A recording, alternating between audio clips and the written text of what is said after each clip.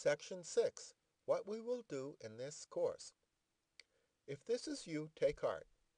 During this course, you are going to experience a transformation in your understanding and reading ability. You are going to learn new concepts that are not intuitive.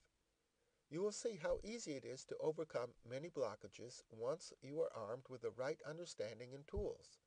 You will experience reading much better with an altered state of focus, consciousness, and concentration.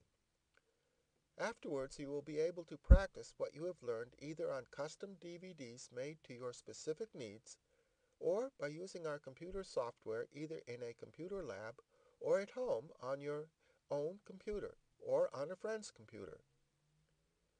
We are going to show you how to overcome one problem after another, and you will experience yourself reading better.